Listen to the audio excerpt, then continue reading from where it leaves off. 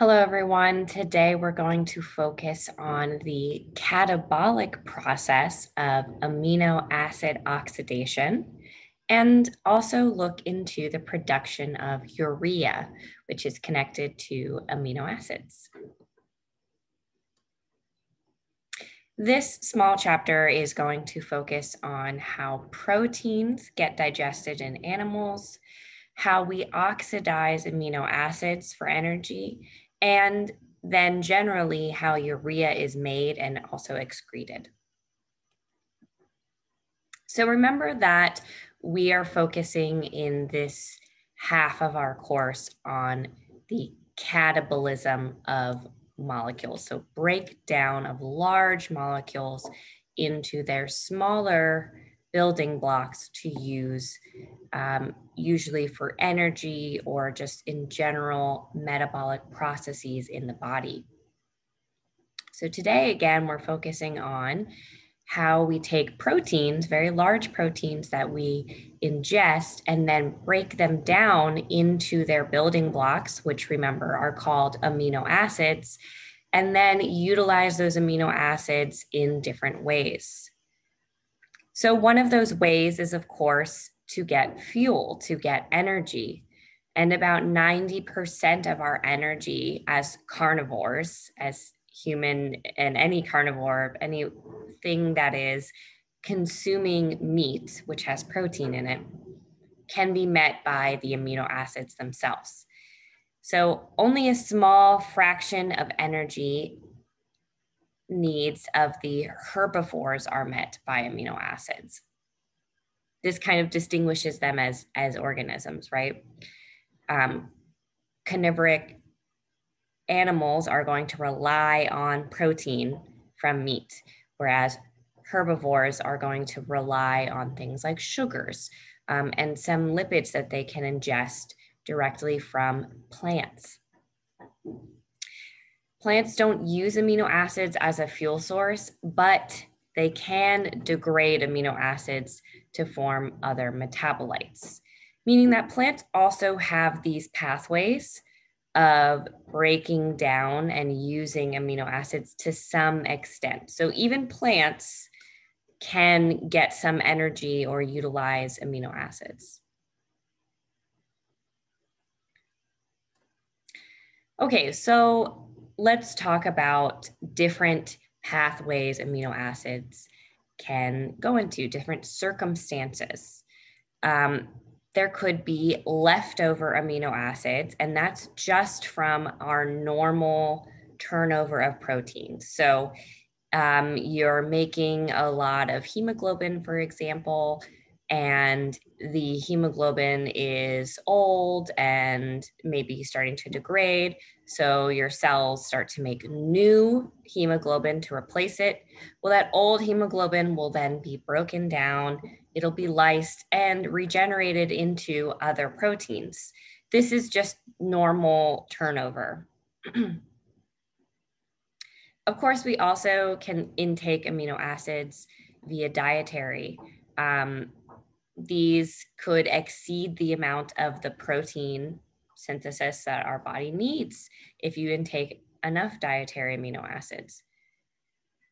Proteins in the body can be broken down to supply amino acids also, and this can happen in energy. So we can actually take the proteins that we're utilizing that don't need to be replaced, for example, muscles, our muscles are made up of, um, our muscle cells have large proteins in them. And these can be broken down in the need that we have to get energy from them. So, in cases like starvation or diabetes, where you are low on blood sugar and your body is sourcing other materials to make energy, um, if you don't intake enough protein or have other sources of protein, the body will turn to its own structural protein to get energy. Okay, so in the case of dietary proteins, where you're actually ingesting proteins, you just had a nice meal, maybe you had a nice steak or a hamburger, and your your body is going to break down that protein, right? Um, it's going to go through our normal digestion system. And similar to when we talked about lipids and how lipids get broken down in our digestion, there are special enzymes that help us break down big proteins in our digestive system. Um, these normally end in the, the ending function of sin. So pepsin, trypsin, chymotrypsin, these are all types of enzymes. They're proteins themselves that then break down other proteins. Um, they all are very specialized and they help break down proteins at specific areas. Uh, so pepsin, for example, can cut proteins into peptides in the stomach, normally found in the stomach. Trypsin and chymotrypsin also can cut proteins into peptides, um, either into large peptides or into smaller uh, peptides. And these are found in the small intestine. So we're kind of like going through as, as these chunks go through, they will encounter different uh, enzymatic degradation proteins, which help cut them down further. There's also aminopeptidase and carboxypeptidase A and B, and these help now degrade even smaller those peptides into amino acids, and this occurs in the small intestine. So again, as you go through these different specialized enzymes are going to cut the protein into smaller and smaller chunks until essentially you get down to this aminopeptidase and carboxypeptidase, which will cut it down into um, small amino acids. Now, there's also something special about these peptidases, and it is where they cut. Um, this is known. We know exactly where these uh, enzymes will start to degrade a peptide or a protein, and they've actually been utilized for um, for science as well. So, for example, aminopeptidase always will remove amino acids from the N terminal of a peptide. So here you can see aminopeptidase Here's the N terminal. Remember, that's the free amino portion of a peptide with that, it's gonna have that plus charge on it. So aminopeptidase always will cut right at the end of a peptide. It sees that free amino group or the free amino NH3, and it will cut that particular end off. Similarly, carboxypeptidase will look for the free carboxy end of a peptide or a protein. And it always cuts when it finds that carboxy end, it'll cut there. You can see this is why carboxypeptidase and aminopeptidase are so strong in how, how they cut down. They're found at the end of digestion because they'll just keep looking for those end portions and they'll keep cutting inward. Now our other uh, our other enzymes are going to cut at specific places and they are uh, less strategic. They're going to go for specific amino acids. Pepsin, for example, only ever cuts um, in linkages involving aromatic amino acids. So tryptophan, tyrosine, phenylalanine. Um, it also targets methionine and leucine. These are not aromatic, but it will also cut between these. So again, pepsin generally is going to cut uh, the peptide linkage between an aromatic and another previous. So you can see here is an aromatic group and pepsin is cutting that peptide linkage notice to what side of the aromatic group it is cutting it. Chymotrypsin also attacked in a preferential area. It's going to attack peptide bonds involving carboxyl groups of aromatic amino acids So phenylalanine, tryptophan, and tyrosine. Um, you can see it as well is cutting right here. Notice on the carboxyl side of the aromatic group. Trypsin is going to attack peptide bonds involving the carboxyl group of groups of basic amino acids, so lysine and arginine. You can see right here, we have a nice basic amino acid and it is cutting the carboxyl group. Carboxyl side of that peptide bond. Here's the carboxyl and the peptide bond it cuts is following that carboxyl group. So that's where trypsin will cut.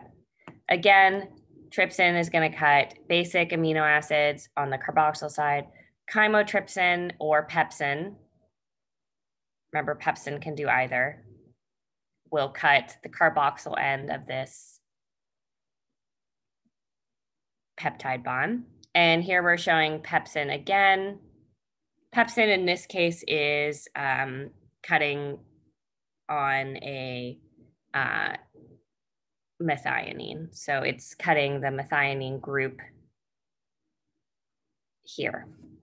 Remember, pepsin can do methionine, leucine, and it also can do aromatic, as along with chymotrypsin, which only does aromatic.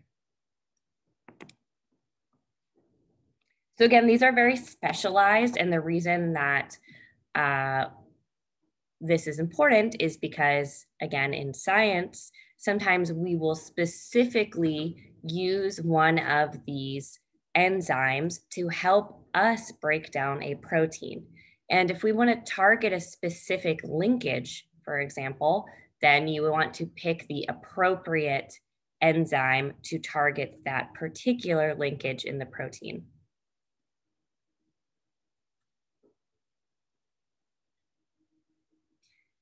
So this is the basics of breaking down amino acids as far as dietary. Uh, we're going to, they're going to systematically go through the digestive system and encounter these different enzymes, which will break them down into small amino acids. So once we have amino acids, all the types of proteins are then treated in the same way based on what our energy needs are. They can be recycled into new proteins, as stated. So they might just be shuttled off to um, areas within the cell to then rebuild up. So these are going to be ribosomes, and they're just going to rebuild proteins. Or in the case of needing energy, amino acids can be oxidized to get energy. But to do this, they have to ha- be processed. There needs to be the removal of the amino group, which happens in the re- urea cycle. And then entry into central metabolism, they can go into glycolysis or the citric acid cycle.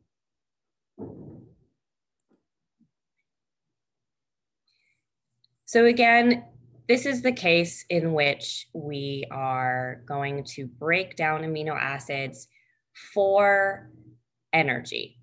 so we've taken in proteins, they've been broken down into amino acids.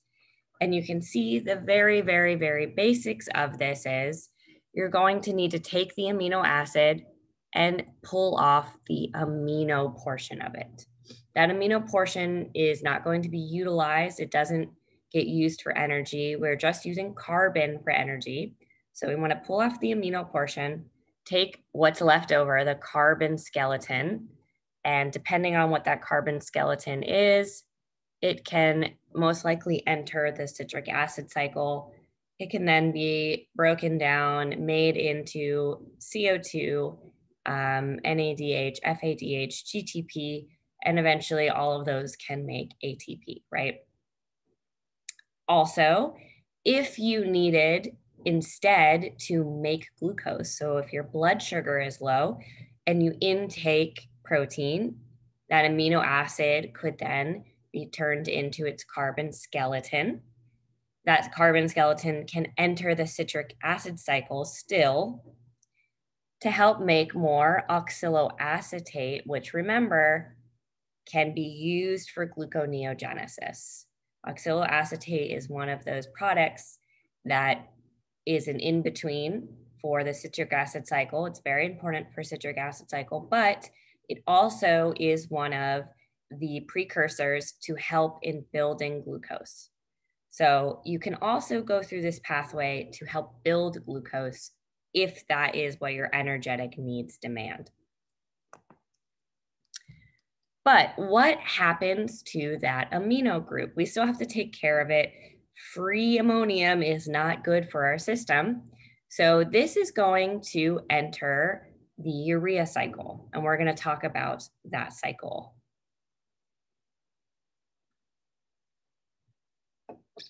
So to be clear, there are different forms of nitrogen that animals and organisms utilize um, through their metabolism. There's free ammonia.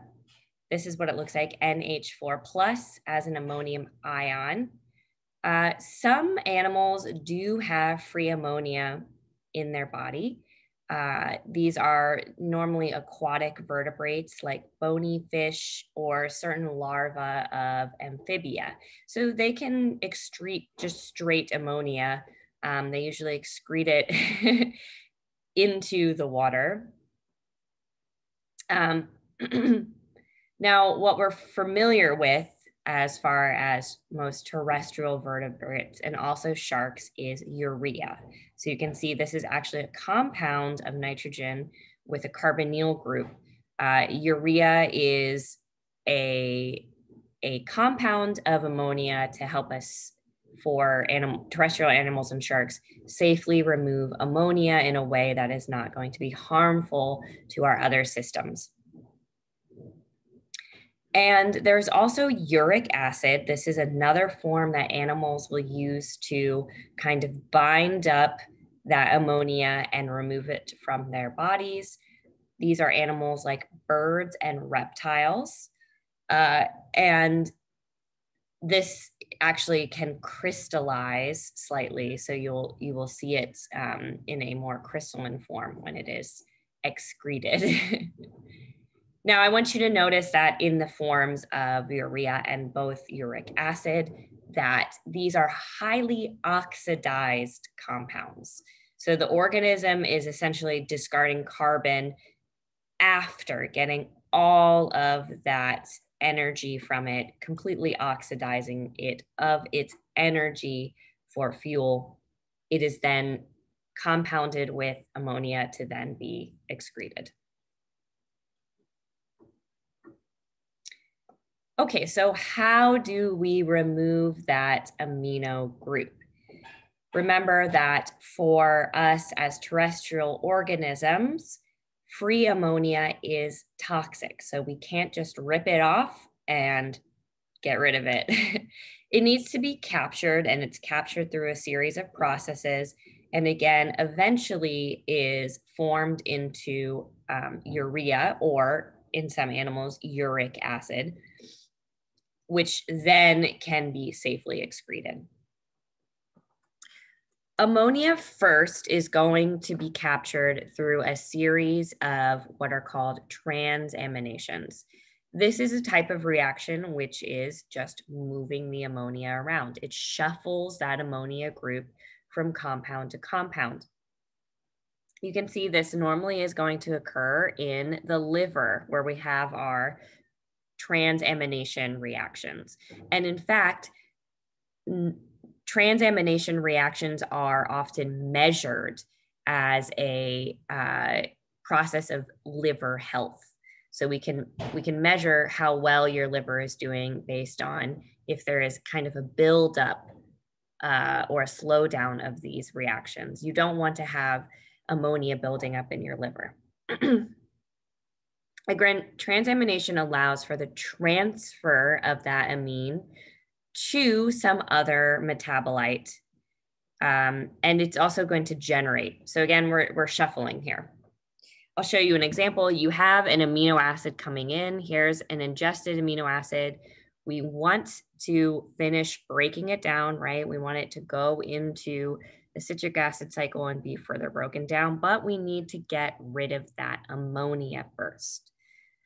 Well, transaminations are going to take specifically alpha ketoglutarate. Remember this, this is a molecule from the citric acid cycle. You've seen it before. It's going to take alpha ketoglutarate and shuffle that amine group to the glutamate. You can see alpha ketoglutarate becomes glutamate by taking that amine group. So alpha ketoglutarate becomes glutarate. During this process, the amino acid loses its amine group and becomes what we just call as a, a keto acid. Keto acid is a general term to describe the carbon skeleton that is left over after we remove the amino group from an amino acid. That keto keto acid can go now into the citric acid cycle. It can also be converted through other processes um, to make pyruvate potentially or other things. But that keto acid now is the carbon skeleton that can be utilized off in other parts. But we still have to deal with this glutamate, right? We made glutamate, we transferred our um, amino group to it, and it's our amino group is still around. We made glutamate. What do we do with glutamate now? Well, glutamate can go down into further processes of the urea cycle to get rid of that amino group. Um, it also can be transferred between glutamine and glutamate. And we'll talk about those more. Okay, so again, we're gonna focus on ammonia capture here. I just gave a, an overview of what's going on, but we're gonna get into the details of how we get rid of that ammonia and all of the processes involved in it. Again, the first step here is always going to be transamination. This is catalyzed by a special type of enzyme called an aminotransferase. Aminotransferases are extremely important uh, and they actually do act in lots of areas within the body, um, but most specifically in the liver, where they're going to be helping to uh, take off those amino groups from amino acids. These enzymes, the enzymes that are aminotransferases, use a cofactor called pyridoxal phosphate. Uh, this is a, you can find it actually as a nutritional supplement. Um, it's made from a vitamin and it is part of, it's actually bound into the enzyme itself. Again, the aminotransferases are going to typically take alpha ketoglutarate as their acceptor to accept the amino group off of whatever amino acid has come in and then make glutamate. So alpha ketoglutarate becomes glutamate through this process of aminotransferase. And at the same time, we take our incoming um, amino acid and remove it its amino group to make a keto acid. Now, there is a potential for that glutamate to have a second transfer. So we can actually stick on another amino acid, or excuse me, amino group onto that glutamate and make what is called glutamine. Uh, glutamate and glutamine are both essentially temporary storages of nitrogen um, that can then shuttle off to the urea cycle.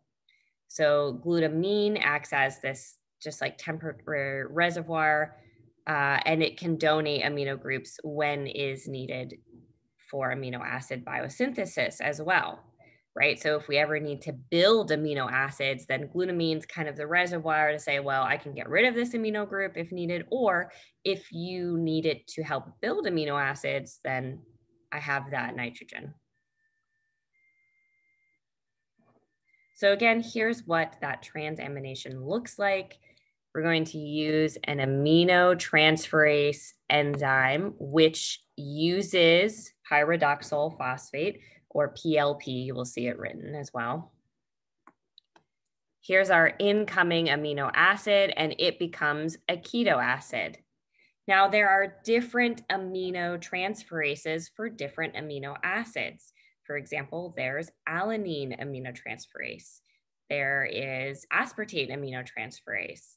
Um, and each of these results in a different keto acid, right? Because the amino acid structure is different. The keto acid structure of the original amino acid will be different as well.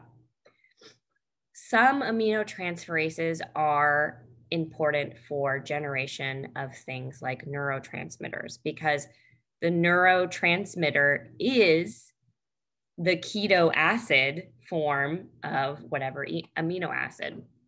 So for example, tryptophan, tryptophan is very important in generating neurotransmitters through this process. Again, alpha ketoglutarate is kind of our opposite here. It's going to take on that amino group and form glutamate.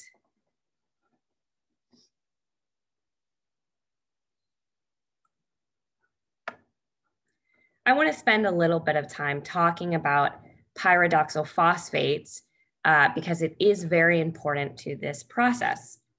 Again, it is derived from a vitamin that is vitamin B5. And what it is doing is temporarily holding on to that amino group within the enzyme. So it is doing the work of that temporary binding of the amino group which will then transfer onto our alpha ketoglutarate to make glutamate. This process forms uh, this version of pyridoxal phosphate, which is called pyridoxamine phosphate. This is when it is bound to that amino group.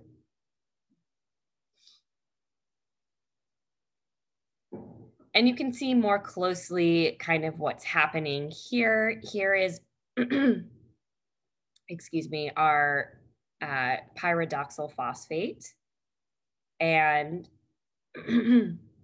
sorry, uh, are the enzyme itself holding on to this lysine with an amine group. It's going to accept electrons from this lysine and it actually binds on to the enzyme, forming what is called a Schiff base. This is an internal aldimine, That's what it's called. Um, and it is what is allowing for the transfer of that amino group. This in particular, this Schiff base structure is very important. Notice it's, it's a very interesting um, linkage where you have a nitrogen that is double bound to a carbon. It's also forming another single bond and it has a hydrogen on it. So it is a nitrogen with four bonds, right? Which gives it that positive charge.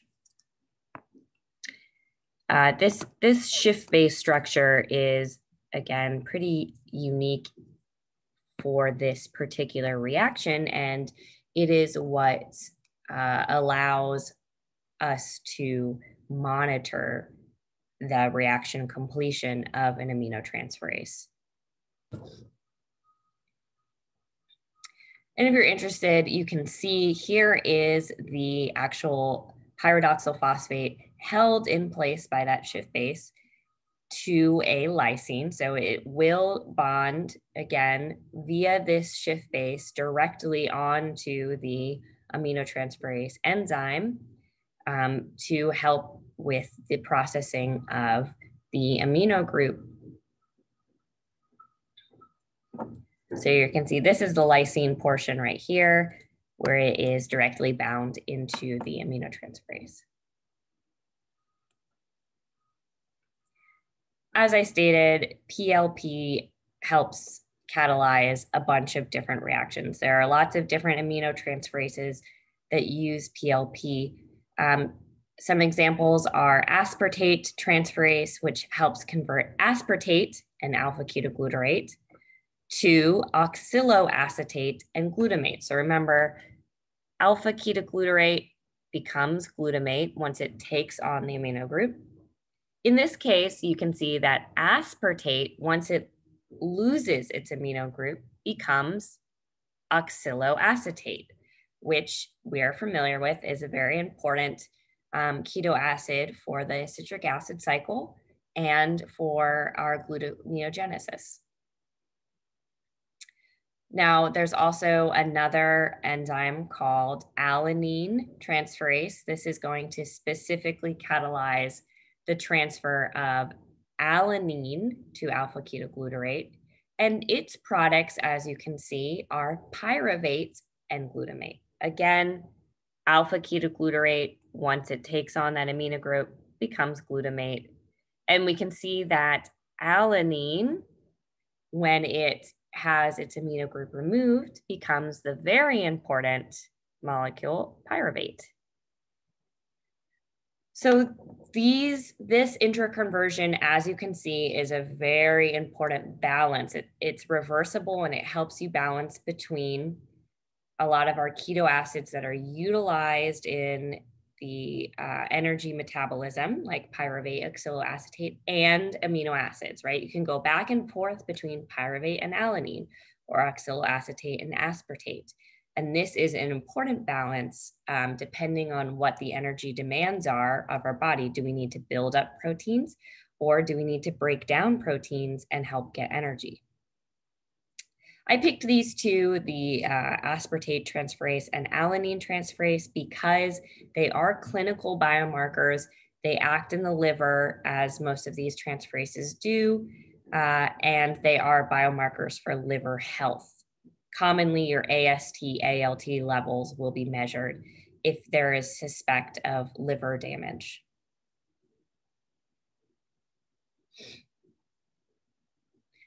So I want to spend a moment talking about the glucose alanine cycle. We just saw the importance of alanine and again, its ability to be converted into pyruvate.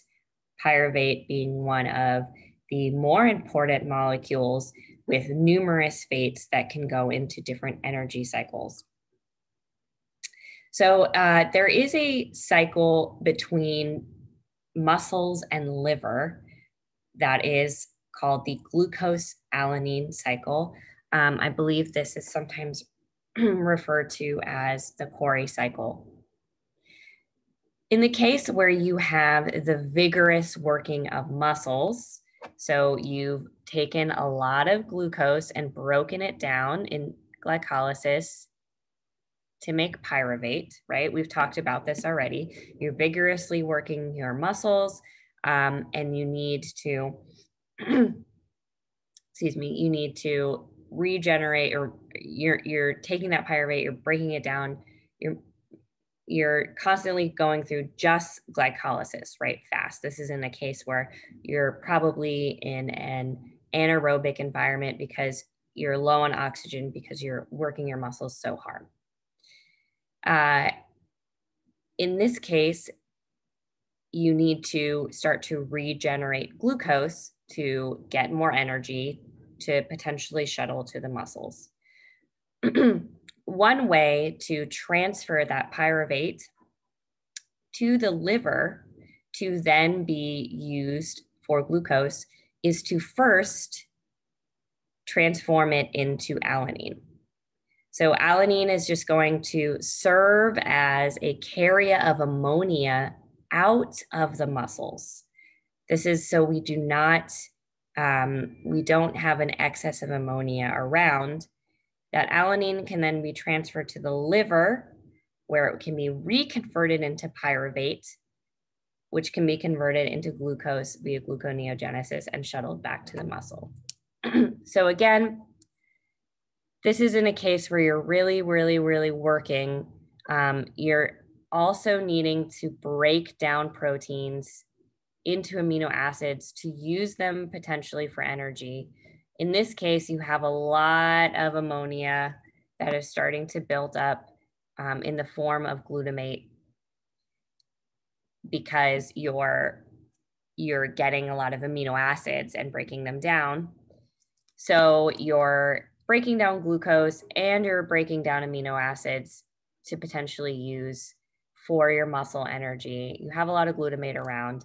Here you can actually take the pyruvate you've broken down and make it out to alanine temporarily, shuttle all of that out. Alanine carries the, the ammonia into the liver, in which it then is retransformed into pyruvate, which can be used to make glucose.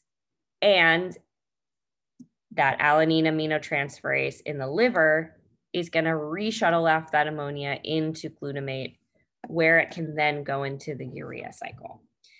Again, this back and forth, like why are we taking it off glutamate, putting it on alanine, then going to the liver, putting it back on to glutamate.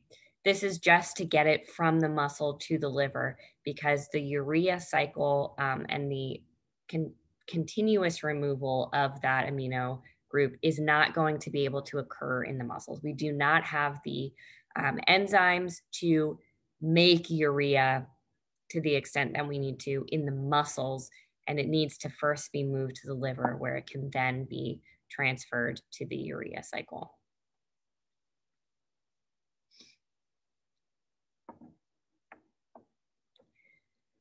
another place where we see the use of aminotransferases, and this is in a different different manner, um, is again in other amino acids such as phenylalanine.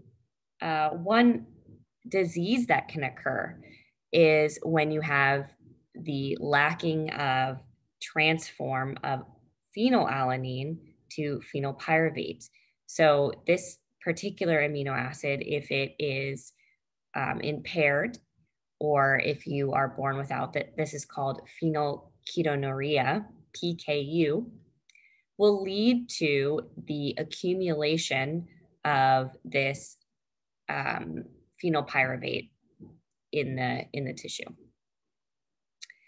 Um, or also phenylalanine. You actually can get both because they're not able to transform back and forth into each other to balance each other out. Uh, this can impair neurological development. It can lead to intellectual deficits. And the only way to kind of control this in people who have PKU is just by limiting the amount of phenylalanine that they ingest uh, because they can't really break it down and, and utilize that phenylalanine properly.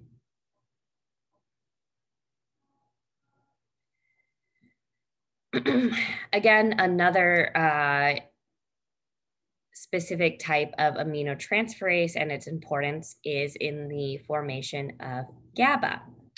GABA is a very important uh, neurotransmitter for our brain, and it is formed via an aminotransferase from amino acid oxidation.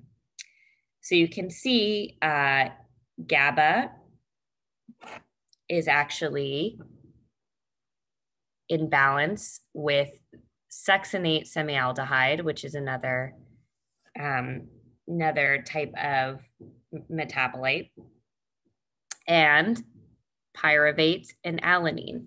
So here notice that we're not using alpha ketoglutarate and glutarate, but instead um, alanine can transform into pyruvate. Remember, that's a normal if it removes its amino group. So alanine will remove its amino group off onto succinate semialdehyde, which will then transform into GABA. Similarly, GABA can, can be made through another aminotransferase that uses glycine. Glycine can take off its amino uh, its amino group and it makes glycoxylate. And again, it will take off its amino group onto succinate semialdehyde, which becomes then GABA.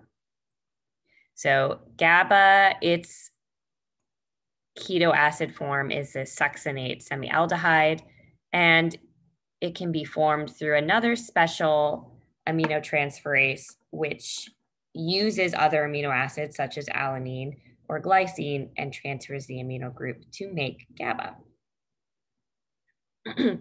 now, because we know about this aminotransferase and its importance in the formation of GABA via um, succinate semialdehyde and other amino acids, there are various types of drugs that can act um, on this particular aminotransferase. So, for example, um, this vigabatrin is a medication used to treat epilepsy, and it is working by inhibiting the breakdown of GABA. So, one way it does this is by targeting that aminotransferase. How does it target the aminotransferase? Well, it actually targets the pyridoxal phosphate. This particular molecule looks like pyridoxal phosphate it will bind to that aminotransferase and stop it from being able to do this particular transformation.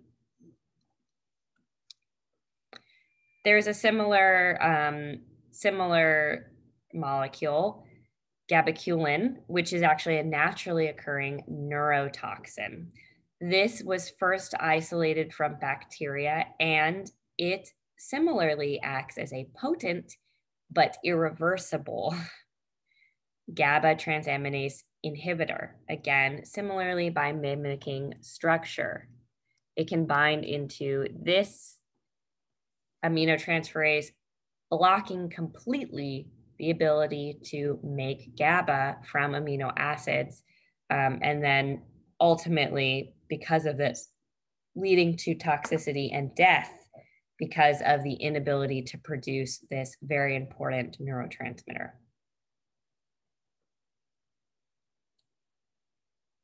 Okay, so we talked about the transfer of ammonia, right? We talked about aminotransferases, all of their different functions in different areas, but generally this idea of being able to transfer ammonia from amino acids onto other ammonia carriers and excuse me.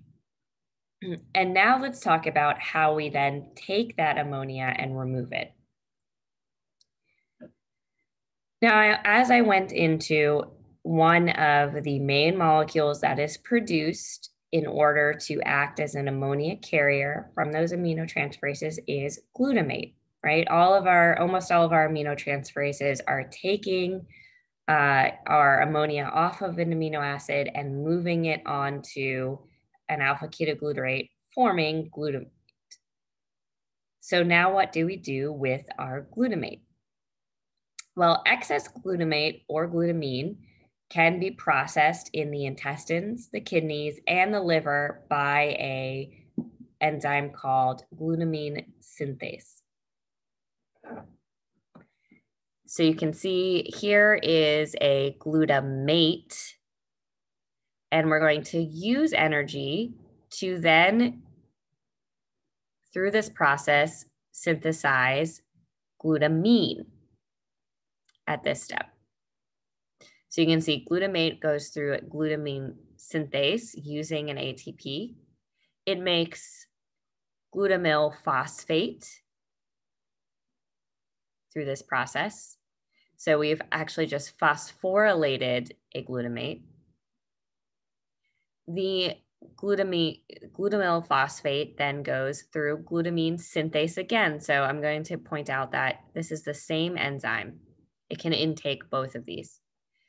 And in its second go through, it is going to now put on another ammonia group and remove that phosphate. So now we have a compound with not one, but two ammonium groups that have been added onto it. This is glutamine.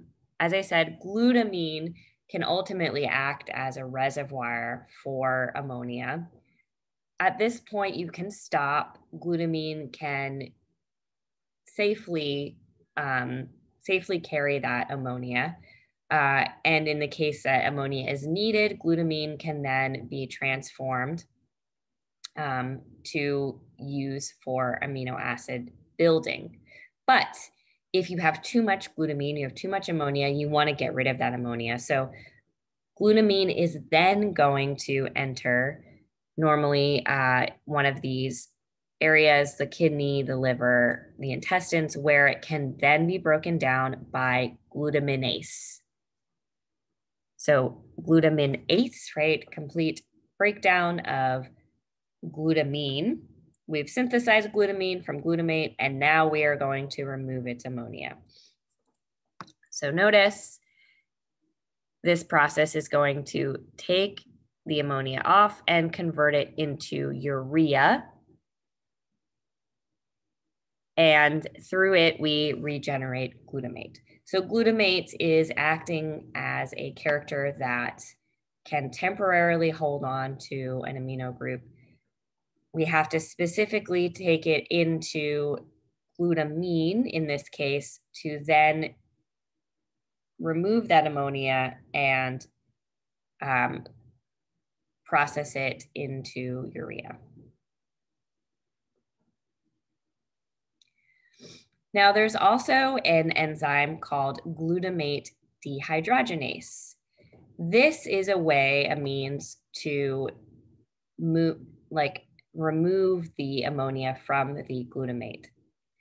Um, this is an oxidative deamination that occurs in the mitochondria, and it has to use an NAD or an NADP as an electron acceptor. So again, it can use either of them, NAD or NADP, and it's going to generate the requisite either NADH or NADPH.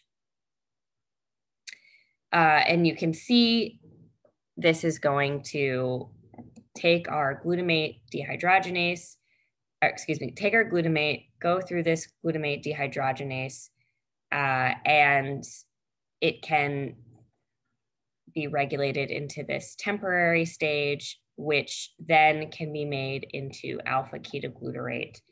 This is through a, a kind of temporary bypass where our ammonia is removed into the urea cycle for excretion. This process is normally used by plants and microorganisms um, and there is a mammalian enzyme that is that uses this process, but it's regulated by GTP and ATP, ADP, excuse me. So again, this is another way that we can take the ammonia directly off of glutamate through glutamate dehydrogenase. So I want to be clear, two ways to get ammonia into the urea cycle. Take your glutamate, make it into glutamine and remove one ammonia into the urea cycle, or take your glutamate, go through glutamate dehydrogenase, form alpha ketoglutarate, and you're removing that ammonia group into the urea cycle.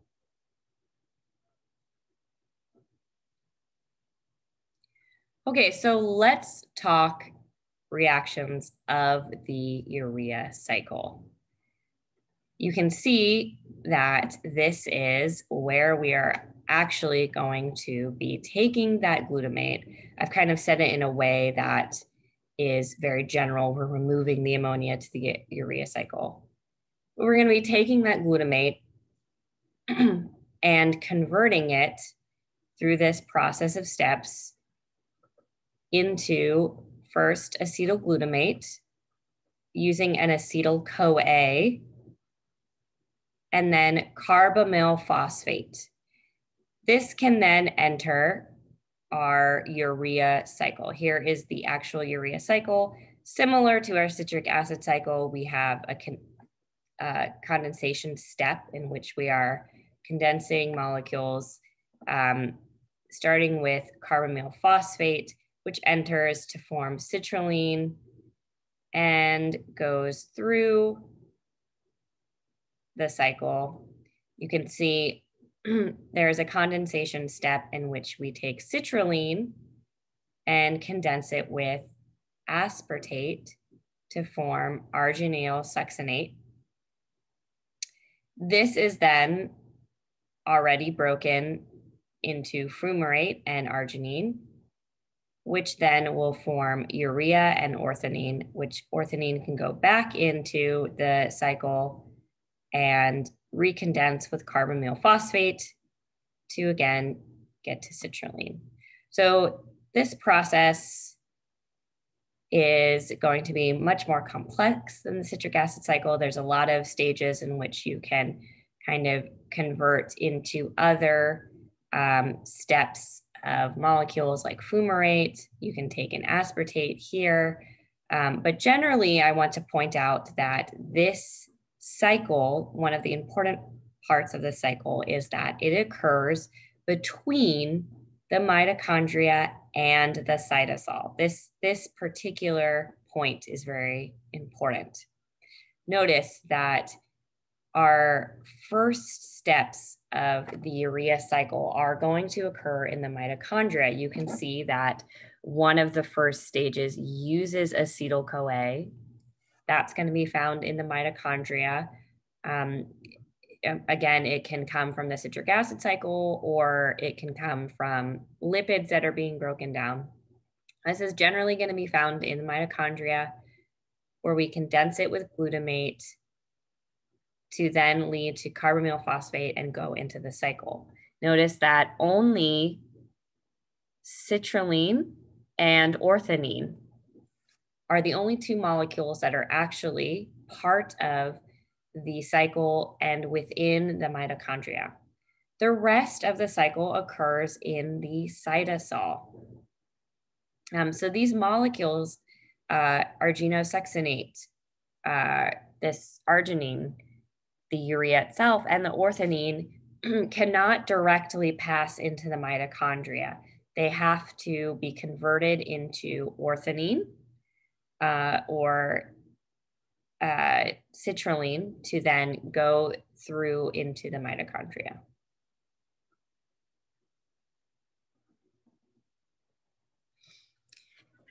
This, this processing is important, the separation of the urea cycle between the two, um, because it is also balanced by another cycle.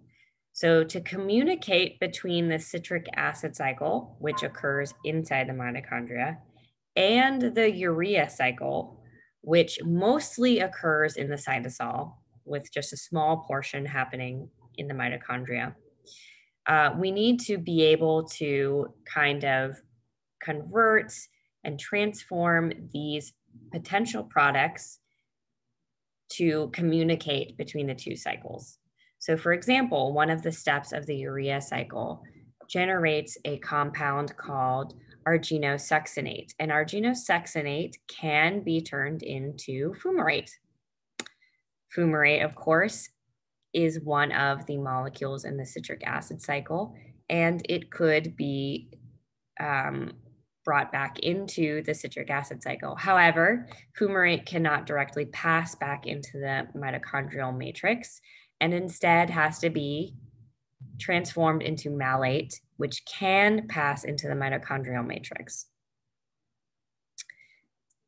This is part of a shuttle we've already talked about, the malate aspartate shuttle.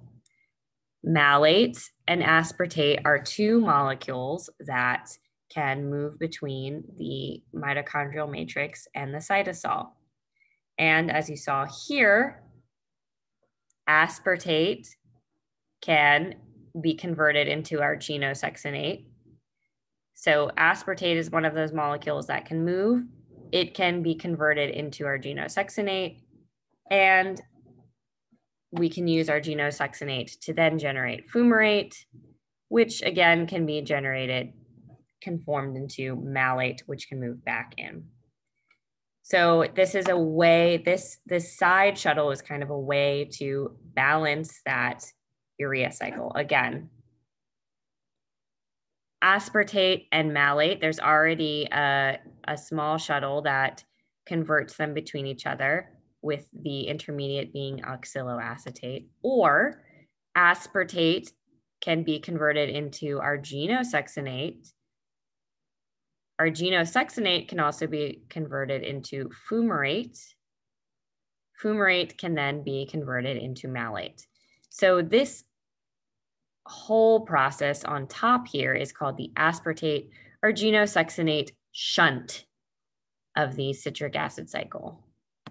Again, this is a way to connect the cycles through this arginosuccinate, connecting the urea cycle and ultimately the citric acid cycle together.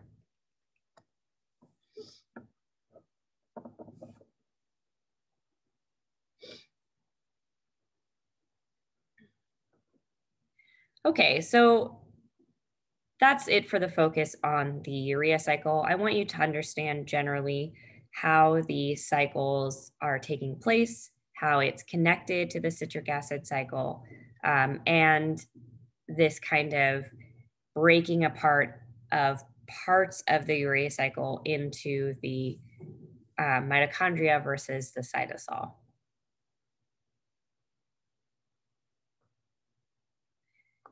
So let's talk a little bit further about amino acids and their use in the body. Now, there are some amino acids that are considered essential, non essential, and conditionally essential. This is defined by essential amino acids, which are obtained as dietary protein, meaning they are essential to intake. We have to get them from our diets. Non essential amino acids are ones that are easily made from metabolites. These are ones that we can form on our own from other molecules. So, for example, we just talked about how um, alanine uh, can be uh, transformed into pyruvate. So, and vice versa. So, pyruvate, for example, can be used to make alanine Alanine, thus, is a non essential amino acid. We have a very easy process of making alanine from other metabolites. of course, a consumption of foods is what's going to supply our essential amino acids, which are the ones that are going to be needed to uh, be made from dietary protein and cannot be made from other sources. Here's that table of ones that are essential, non-essential, and conditionally essential.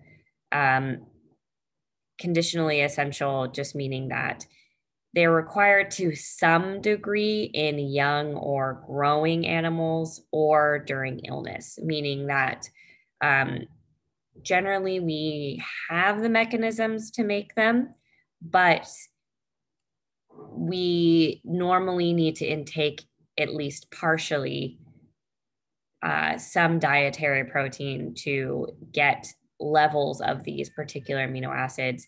Again, usually in times of youth when we're growing or during illness. So, vulnerable times, we might need to intake to supplement these amino acids. You can see in the non-essential, these are ones, some of the, the ones you've already seen that we focused on. Alanine. We don't need, this is, we don't need to uh, intake it because we can make it from pyruvate. Uh, you've seen glutamate, aspartate also. Aspartate can be made. Serine, asparagine, these are all ones that can be made from other metabolites usually through an aminotransferase that we do not need to directly consume. The list, however, of essential amino acids is much longer. These are ones that need to come from dietary sources, such as histidine, isoleucine, leucine, lysine, methionine, phenylalanine, threonine, tryptophan, and valine.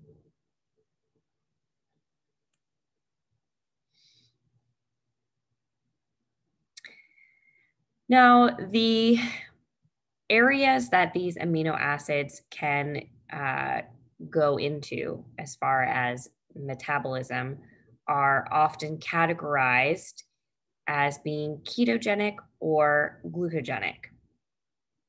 And that means that amino acids that can be converted into ketone bodies for energy are called ketogenic amino acids that can be in some way converted into glucose are called glucogenic amino acids.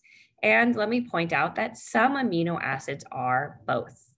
They have the ability to be shuttled into a pathway where they can be made into ketone bodies and another pathway where they can be shuttled into making glucose.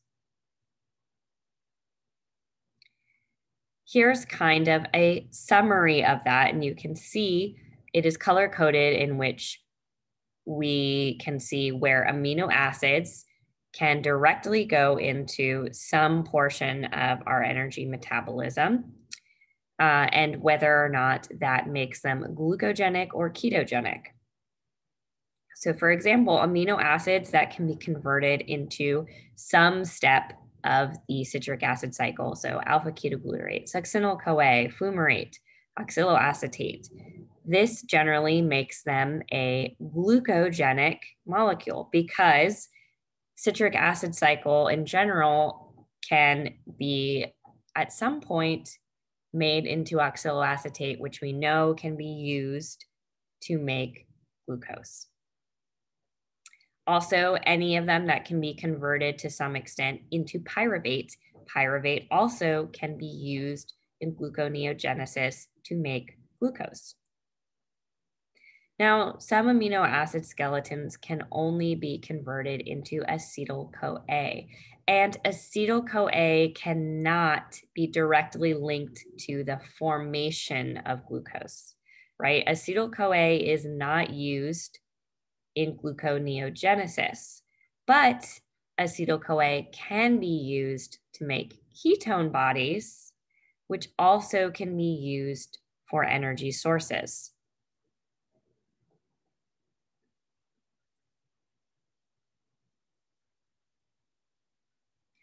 Another pathway of degradation of these amino acids that we can look into is tryptophan degradation. Tryptophan um, has a pretty special degradation pathway because it is involved in things like neurotransmitters. So tryptophan can be converted into serotonin, which is a neurotransmitter. Um, it also can be in plants converted into indole acetate, which is a growth factor for plants. In um, most organisms, tryptophan also is the precursor for nicotinamide, which or niacin is it's also called, which is the direct precursor of our molecules NAD and NADP. So here's another pathway in which amino acids can be used in metabolism that isn't directly related to this energy formation, as we just saw with the catabolism into glucogenic or ketogenic, they also can be used in other pathways, for example, to make NAD, which is very important um, in lots of steps of uh, all of our metabolism in the body. Glycine is another amino acid uh, that has some special pathways. So it can go through these pathways where we see um, glycine cleavage. So this is a major pathway in mammals in which you can separate the glycine, the three atoms of the glycine, to release CO2 and ammonia. Um, and also, it can be utilized through this pathway called amino oxidase. This is a minor pathway, but I bring this one up in particular because it ultimately is oxidized into something called oxalate. This happens in the kidneys and it can be a major component of kidney stones. Now, generally, this is a minor pathway to deal with degrading glycine, but in the case that you have too much use of the amino oxidase in your kidneys and too much buildup of oxal- oxalate, you can then form kidney stones. So again, glycine can go through a couple different pathways to degrade, but I wanted to bring this one up, the amino oxidase pathway, because it is what eventually forms kidney stones.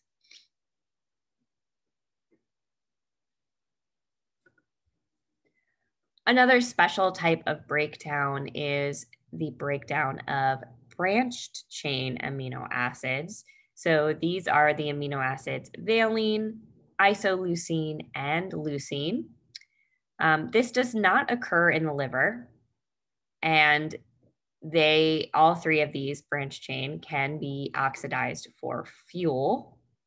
Uh, also, in muscle, adipose tissue, the kidneys, and the brain, this can be used for fuel in general. You can see they actually have a specialized breakdown pathway in which they go through a series of conversions similar at some point to the oxidation of lipids. Um, these result in propionyl CoA, in some cases from valine or isoleucine. Isoleucine can also be converted into acetyl CoA, and leucine can be converted into acetyl CoA or acetoacetate. So these are all ketogenic, right? Acetyl CoA can go into the TCA cycle. Propionyl CoA, we talked about, um, can eventually be converted into acetyl CoA. And acetoacetate is a ketone body, also can be converted into acetyl CoA potentially, right? So these are all ketogenic pr- uh, products, which can be used for energy. Um, they can be used and broken down in the TCA cycle, but it's one way to take these branch chain amino acids and use them for fuel. Notice that this process also generates a lot of FADH um, and NADH during the conversion of the branch chain amino acids into acetyl CoA.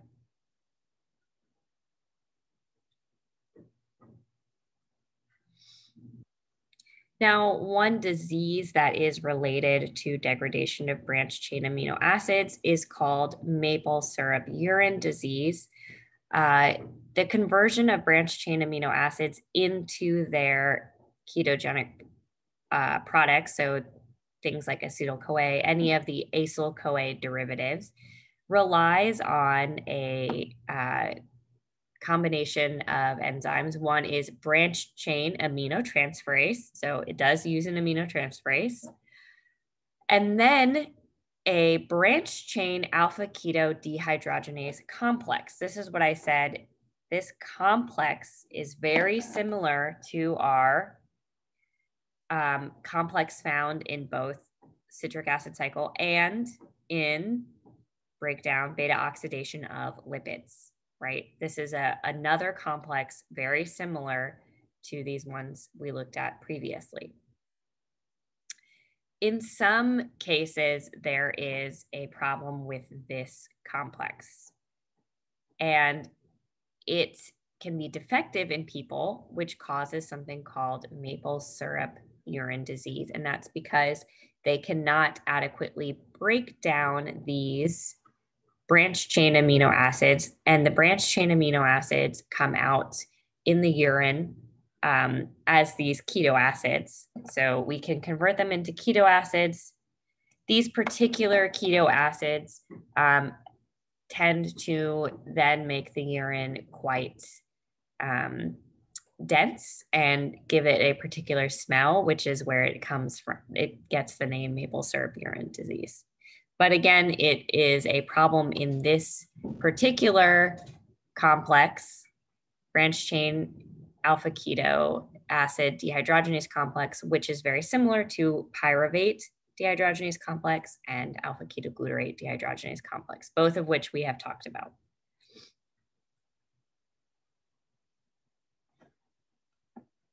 Okay, another breakdown that's very specific is the breakdown of the amino acid methionine.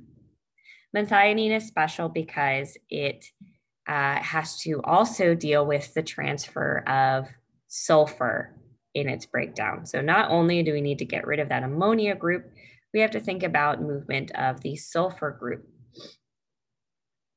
So the methionine degradation involves transfer of the sulfur to serine, ultimately generating cysteine. So this is just kind of a transferous transformation process in which you're transferring the sulfur to various other molecules which utilize sulfur.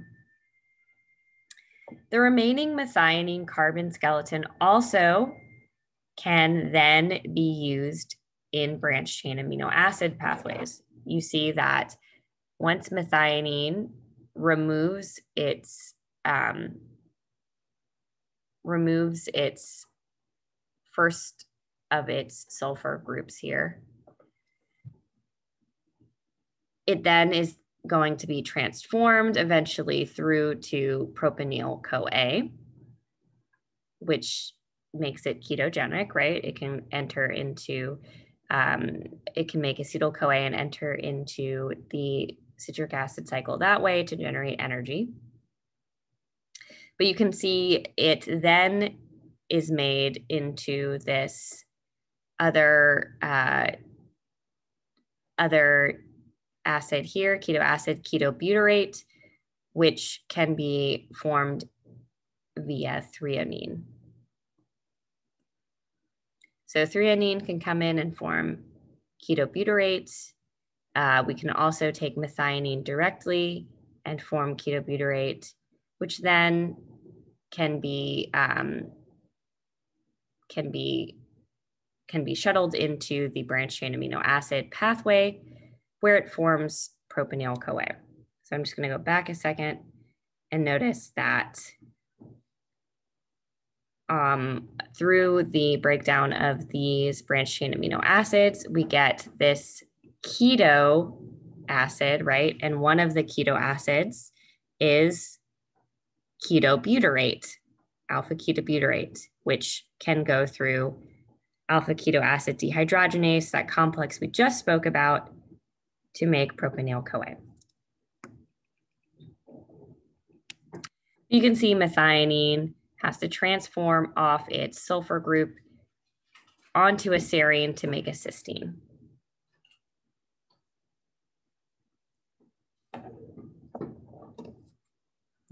So we spoke about these different processes of converting amino acids and some of the genetic disorders that actually affect amino acid catabolism, right? Uh, we talked about PKU, phenylketonuria. This is where you have the lack to convert phenylalanine um, into tyrosine. Uh, and its particular defective enzyme is this phenylalanine hydroxylase. But you can see there are numerous types of genetic orders that affect different types of amino acid catabolism, and they result in a variety of different symptoms and effects, um, most of them developmental or ultimately um, in some way affecting neurological processes. One that is, I think, uh, not thought of as an amino acid disorder is albinism. So if you're an albino, right, you're lacking in melanin synthesis. This actually occurs from a defective enzyme taking tyrosine, tyrosine 3 monooxygenase or tyrosinase, and converting it into melanin. Uh, and this is this particular enzyme, if it is defective, is what makes this albinism, and you have lack of pigmentation. All right, so that's it for chapter 18. We talked about um, how amino acids from protein are an important energy source. We talked about the first steps of amino acid catabolism, which is that transfer of the amino group um, via aminotransferases using PLP, we talked about how ammonia is um, then processed through the urea cycle. It's recaptured into a molecule called carbamyl phosphate and eventually passed into the urea cycle. And we talked about how that cycle talks to the citric acid cycle. Then we focused on how amino acids are degraded into other molecules, such as pyruvate, acetyl CoA, alpha ketoglutarate, succinyl CoA, or oxaloacetate, right? We looked at ketogenic versus glucogenic, and we looked at other pathways that amino acids can be uh, utilized in to then result in other molecules. Lastly, we just took a second to focus on how genetic defects in these pathways we talked about in amino acid degradation can result in a number of human diseases.